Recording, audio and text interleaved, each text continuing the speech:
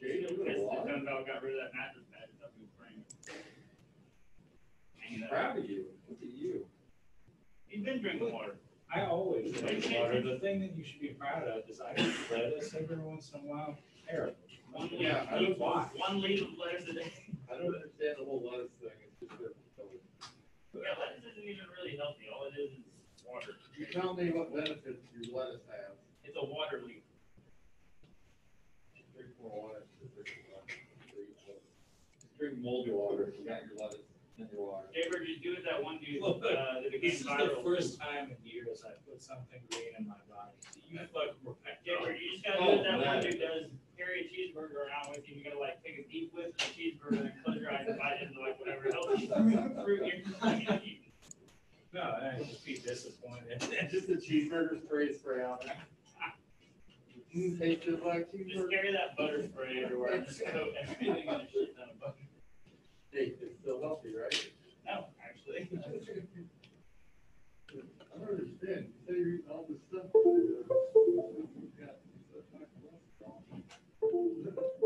gotta get back to eating good. Been doing all that lately.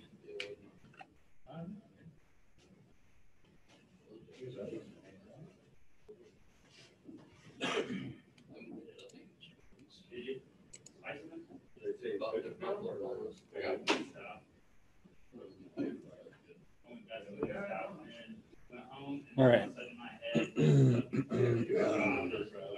sleep.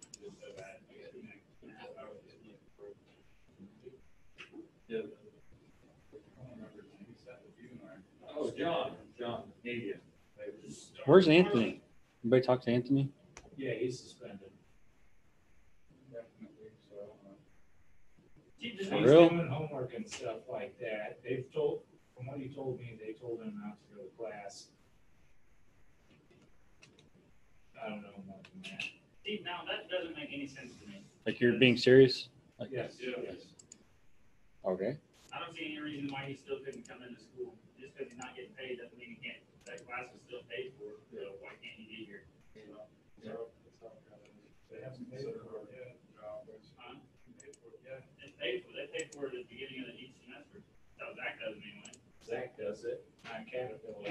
I know. Suckers, dude. They're like, you get your money. Seriously? Yeah, I remember Do that. that. They're assholes. They at least wait till after. Our employers are confident in our ability to pass these classes. Well, they're like. Not PLCs anymore.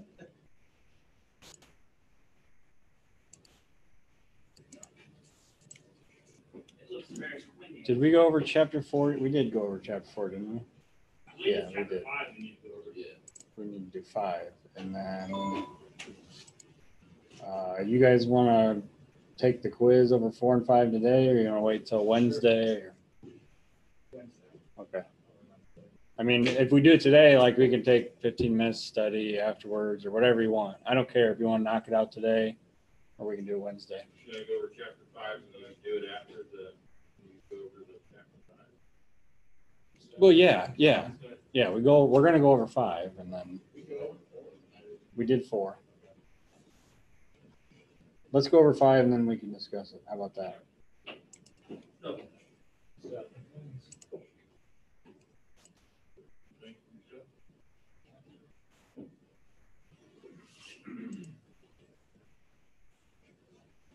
Moose, are you there?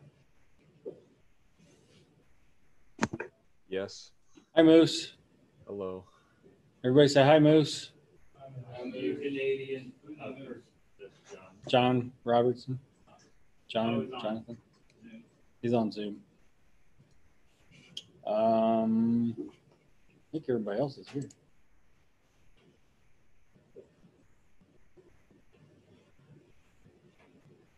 Yep. Yep, yep. All right. What are we doing? Chapter five, a DC series motor is frequently operated without a load, develops a near constant speed regardless of the load condition, should never be operated without a load, should never be subjected to a wide variation in load conditions. Oh. Should never be operated without a load. Blank is an example of constant horsepower the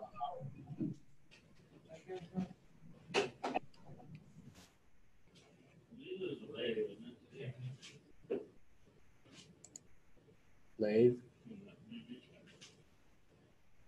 Motor speed, a motor with a speed of eighteen hundred RPM and a drive pulley that is two inches in diameter is coupled via a belt drive to a load pulley that's four inches in diameter. The speed of the driven load would be,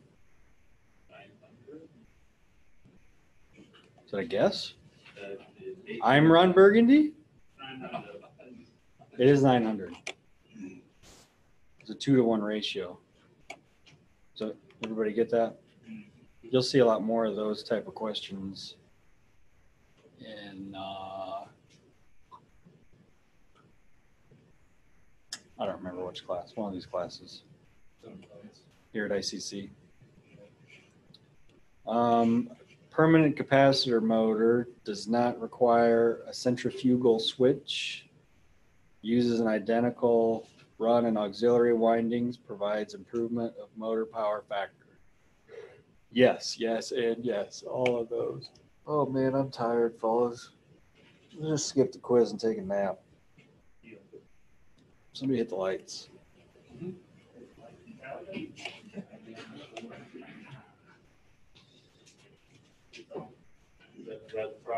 Thank you. All right, I have to pause the recording for this because I don't want this to leave this room. Is anybody offended by, hang on, let me pause the recording.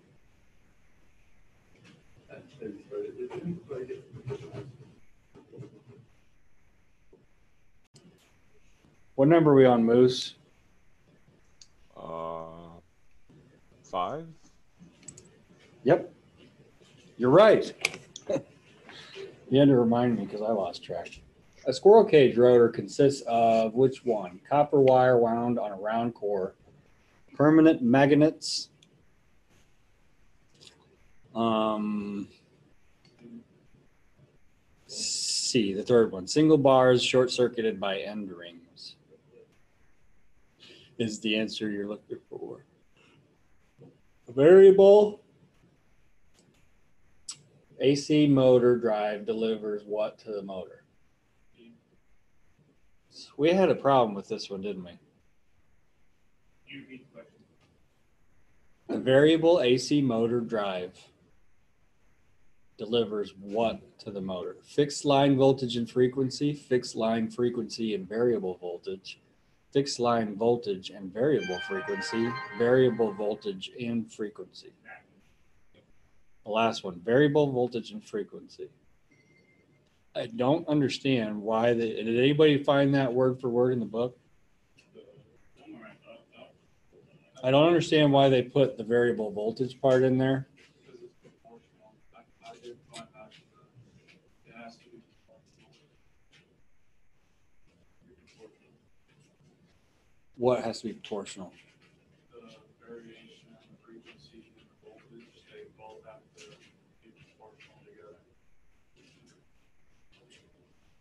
But the thing is, you're simulating a voltage. You're not. You're not just. You're obviously you're varying. You're you're varying. Okay, this is the answer they want, but here's where I have a problem with it. It Um, says the uh, something I copied into my notes when, that one was the ratio of voltage to, con- uh, to frequency must be regulated to constant value done on pulse width modulation. Pulse width modulation, and that's the key because you're simulating a voltage, right? If this is uh, 208 RMS, so not peak, like 208 is in here somewhere, right? Everybody been through that RMS stuff. What drives do is they they will deliver a pulse that looks like this. And you'd have to be on Zoom to see what I'm looking at, but um, so there'd be like a little tiny pulse like that, and this is like a fraction of a fraction of a second And then they deliver another that looks like this. And it's a little bit wider up here. So it's a little bit longer time. And then one that looks like this. And then one that looks like this. And then one that goes back down to shorter length, right? So the DC pulse that, that it gives is up here at this level. It's like, I don't even know if it's at 208 or above 208, but it's using those pulses so that the motor kind of thinks that you're simulating that AC sine wave. But that DC pulse is actually the same voltage every time. The, the pulse width is being modulated to, to simulate that sine wave. So then what, what the motor sees is something that is like this. If you're on Zoom, you can see what I'm doing. But anyway, there's a good, I mean, there's a good picture of it actually. I'm gonna show you.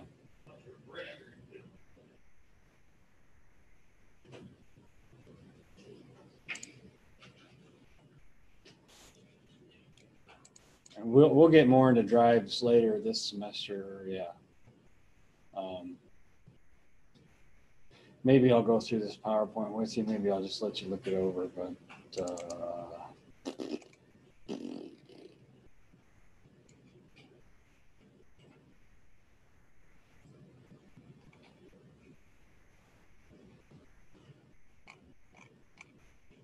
where is it?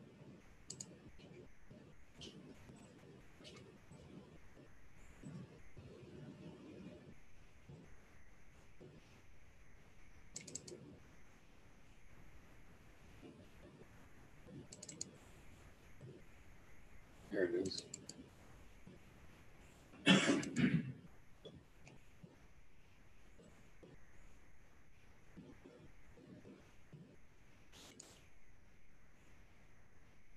How many of you are on, well, I guess I can see.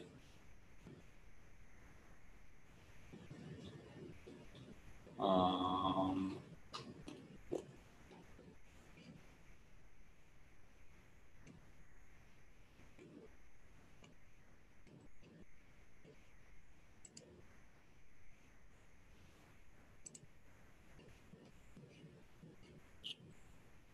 If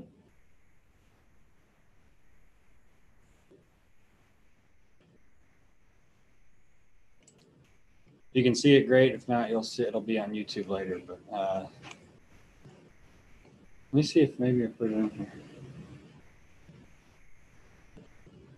Oh, by varying free by varying motor input frequency and voltage. Maybe I'm just wrong altogether I thought that it made small waves and that the, the voltage is kind of like, as opposed to what you're showing up there, you're showing that the voltage is always the same. I thought it made real small little, The DC pulse, the pulse width is modulated. That DC level coming from the DC bus is is a constant voltage. If I remember right, maybe I'm wrong. Maybe I'm just uh, thirty-eight on that book is where I got mine. oh textbook schmeck's book. That, that, I'm looking for a graph. Is there a graph on there? This is what I'm looking for. got pictures that shows us. Get freaking textbook out and look so you guys can all prove me wrong. But this is what I was talking about for those of you that are on Zoom. And I'll look in the book later so you guys can prove your point and I'll be wrong and you'll be right and everybody will be happy.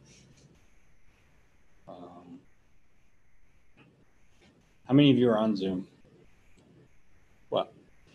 So, based on what you said, wouldn't that have to do with mean? When you're in pulse width modulation? With what? If, if you have a two second cycle, one second's at hundred volts, and one second's at no volts, isn't the mean voltage fifty? Oh, I, yeah, but that's the thing is, yeah, you are varying voltage from max to zero between there. Maybe that's what, maybe that's what the question is saying, and I'm just I saying think that's why they're. Is saying. it raining? uh, Decreasing voltage is because it has to do with your pulse. Width. Squirrel.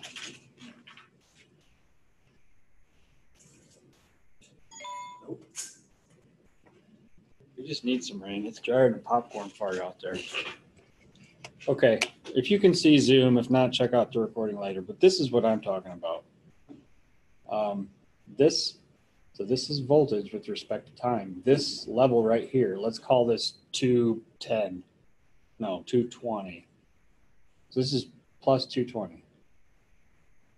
Okay, there's a DC pulse going on here. It's very short, then it gets a little longer, and it gets a little longer, and it gets a little longer, and a little longer until it's like ah, right, and then it starts to go back down. What you get RMS wise, if you put this on a meter, or what the a what the what the motor is seeing or feeling as far as that electromotive force is a simulated sine wave. So this is what the motor sees. It looks like an AC sine wave. And then by varying those pulse widths, you can make the frequency look different. You can make it look like this. Right? Or you can make it even longer, like this, just by varying those pulses. So that's how that's how we vary frequency with the VFD. But anyway, I guess like Jeff's point was that yeah, you are you are up here at this we're calling it 220 we don't know what it is but and then you're going back down to zero and then you're then you're um, alternating direction right? So then you're at negative 220 for these ones but i guess i guess the book is right and i'm right and everybody's right and let's just be happy and know that the answer they're looking for is varying frequency and voltage. Yay! Right Nobody else gonna clap and get excited?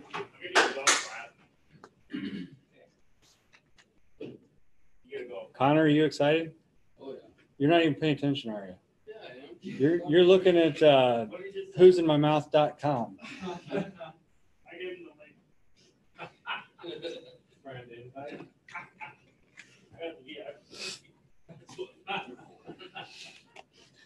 All right.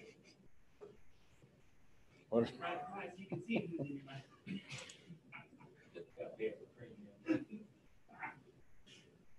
oh my goodness gracious. It.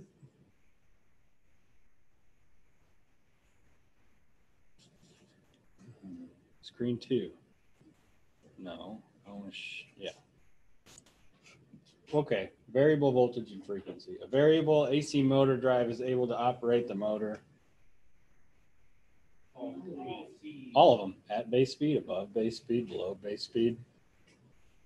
Which you wouldn't think uh, above base speed, but really the only thing you're limited by speed wise on a motor, if you're not using a drive, is what Ameren's giving you, right?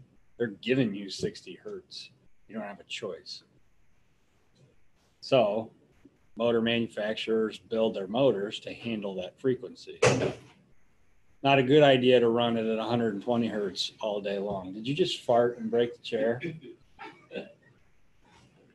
Nothing at all happened. Nothing? We're good. You good? All right. Yeah. Remember when you broke ten dogs two times? I'm broken chair. I'm not gonna take the heat. I have broken the chair, but that was not one.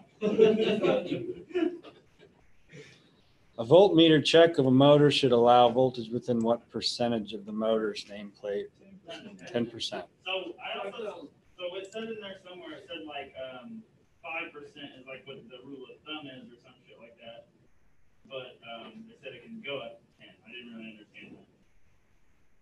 Because the motor, the motor's rated for. Or yeah, it's rated for five percent or something. uh, If it's over five percent or something, like that, The meter, and it is, but it, it- it's unacceptable pretty much. Yeah, so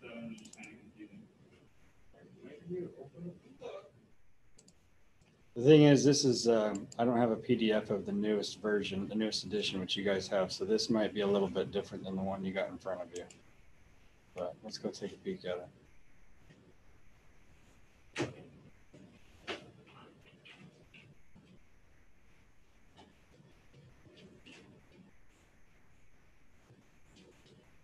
Wow, this is a big file.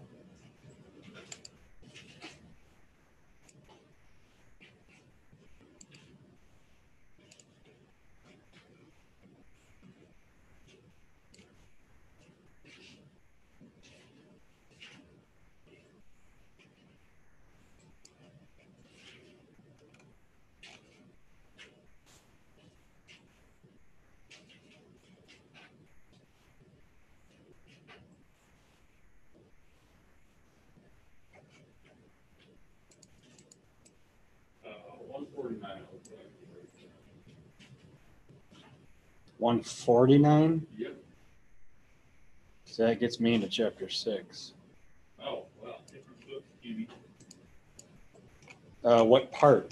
uh, looks under voltage levels and balance on part seven of motor installation. Projected line flow.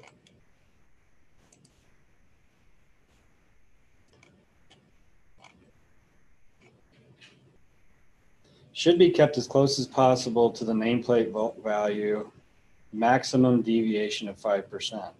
Although motors are designed to operate within ten percent of nameplate voltage, large voltage variations can have negative effects on torque, slip, current efficiency, power, temperature, and service life. So what does the question say? Um, a voltmeter check of a motor should show voltage within blank percent of motor's nameplate voltage. So that seems like kind of a vague question. So did anybody get that wrong? I'm gonna, I'm gonna make that one extra credit because I don't like the way that it's worded versus what the book says, so. Should be kept as close with a maximum deviation of five percent.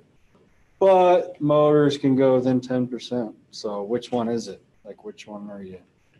That was, that was, I just wanted to get like, if I max it out in the field, like, I'm going within five percent, right? Yeah, yeah, I would. I would not, I guess what I, I would not hook up a motor if you're outside of five percent, you know? Um, Electric motor uses blank energy and blank energy. Electric and magnetic.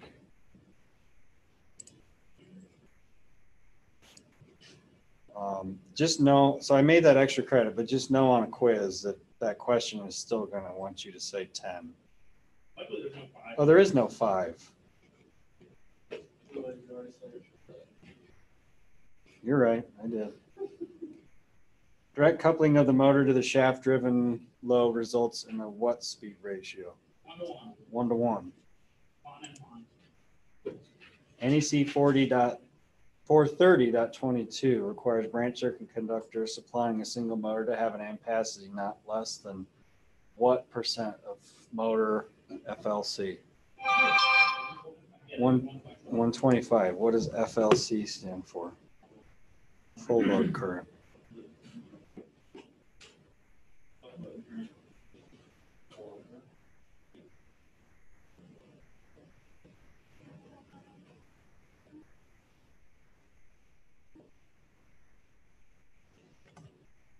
Um, NEC article, what? Main code source for electric motor installations, four thirty. On a three-phase motor, the stator windings are arranged to create rotating magnetic field. This is where my cool little PowerPoint comes into play. You want to see a picture of that ro- rotating magnetic field? Check that out. Whoop, whoop. That don't get you grind, or your gears grinding on the wheel. That's what I'm talking about.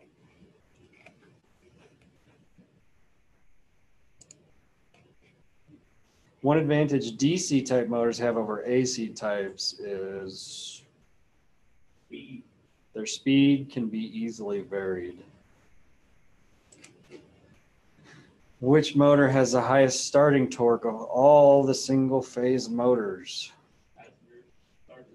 Cap start, cap run. The are two basic categories of motors are.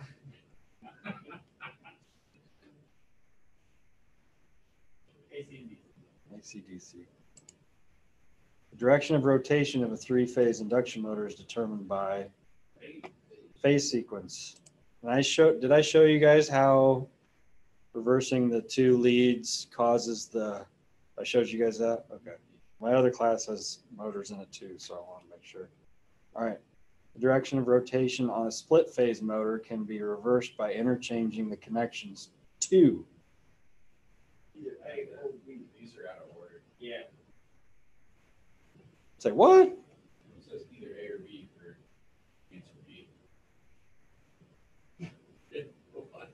it isn't. So, it's either the run winding or the run winding. Oh. oh. Okay, so it's either the run winding or the start winding.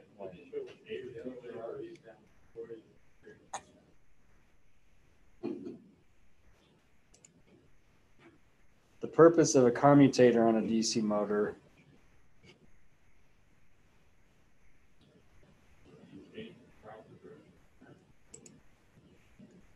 Right, and that goes back to the whole right-hand rule, left-hand rule, and then once you reach a certain direction, it stops. You reverse the current flow, and then it keeps keeps the rotation going.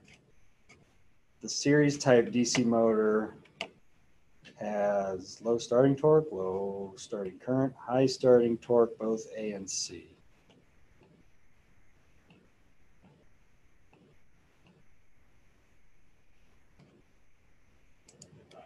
Yep, high starting cor- torque. Very good. Shunt type DC motor.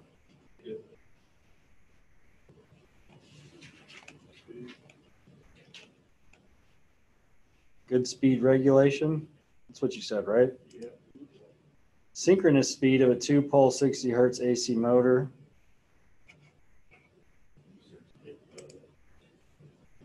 Cody got it.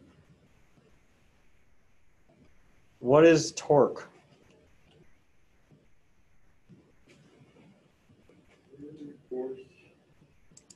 It's a rotational force.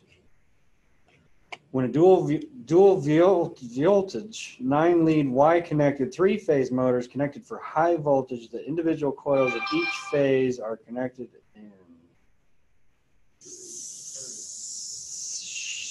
series.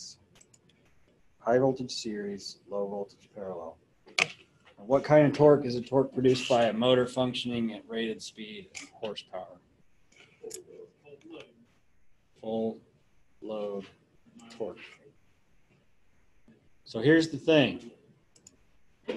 Y'all want to know what the thing is? We need to take a vote.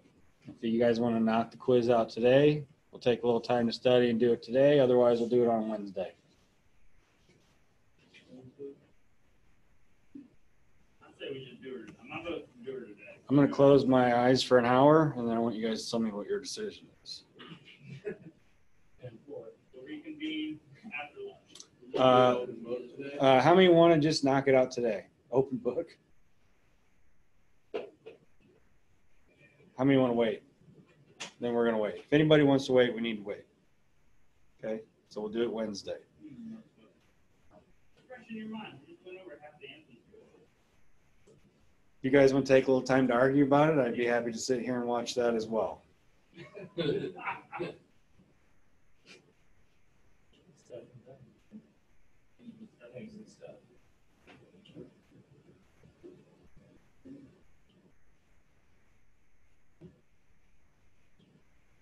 Hmm?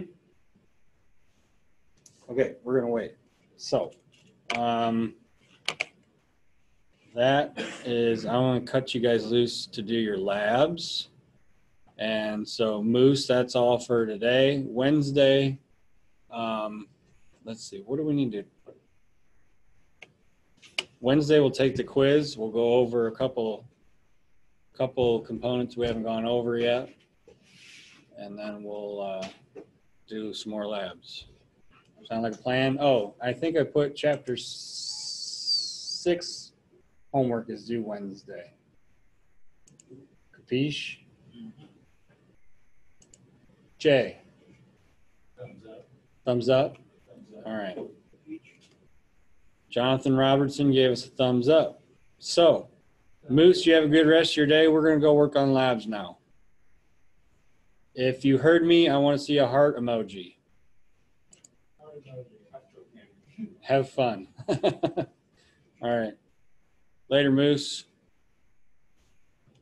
Gave you a little